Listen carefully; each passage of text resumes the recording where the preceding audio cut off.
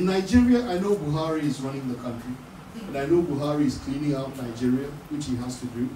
But for some reason, Buhari is either very, very ill or is dying.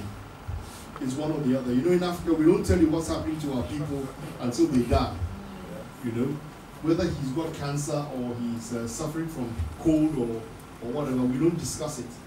You know, uh, he's he's too much of a god for us to see that he's vulnerable and could die. Our president died, uh, Professor Mills.